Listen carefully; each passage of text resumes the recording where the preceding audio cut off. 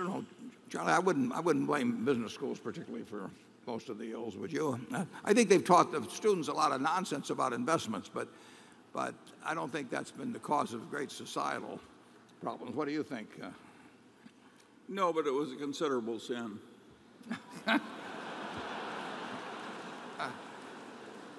well, do you want to elaborate on what was the more sinful? Most, No, no, uh, I think business school education is improving.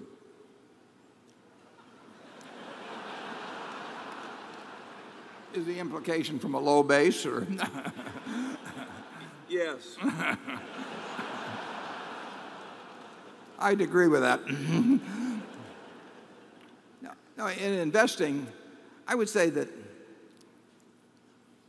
uh, probably the, uh, the silliest stuff that we've seen taught at major business schools probably has been, maybe it's because it's the area that we operate in, but it has been in the investment area. I mean, it is, it is astounding to me uh, how uh, the schools have focused on sort of one fad after another in, in uh, finance theory.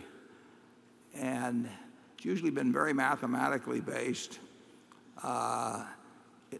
When, it, when it's become very popular, it's almost impossible to resist if, you're, you, hope to make progress in, in, in, in, in faculty advancement, uh, going against the uh, revealed wisdom of your elders uh, is, uh, can be very dangerous to your career path at, uh, at major business schools. And, and, you know, really investing is not that complicated. I would have, you know, a couple of courses. I would have a course on how to value a business, and I would have a course on how to think about markets. And I think if people grasped uh, the basic principles in those two courses, uh, that they would be far better off than if they were exposed to a lot of things like modern portfolio theory or, or option pricing. I mean, who needs option pricing, you know, to be in an investment business? And that, uh, you know, when when uh, when people, you know, when Ray Kroc started McDonald's, I mean, he was not thinking about the option value of what the McDonald's stock might be or something. He was thinking about whether people would buy hamburgers, you know, and what would cause them to come in and how to make those fries different than other people's and that sort of thing. It, it, it it's totally drifted away. Uh, the teaching of investments. I look at I look at the books that are used sometimes, and and there's really nothing in there about about valuing businesses. It, uh, uh, and that's what investing is all about. If you buy businesses for less than they're worth, you're going to make money. And, uh, and if you know the difference between the businesses that you can value and the ones that you can't value, you know, which is key, you're, going to make money. But, but uh, they've tried to make it a lot more difficult. And of course, that's what the high priests in any, in any particular arena do. They have to convince the, laity that, that the priests have to be listened to.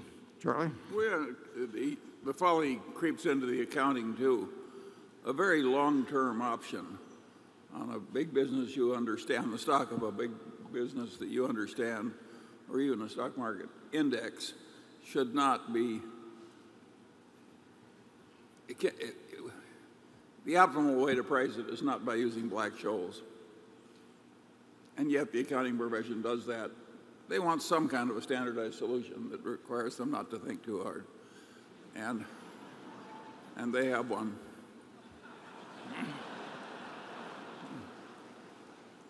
Is there anybody we've forgotten to offend? If, the, if you'll send a note up.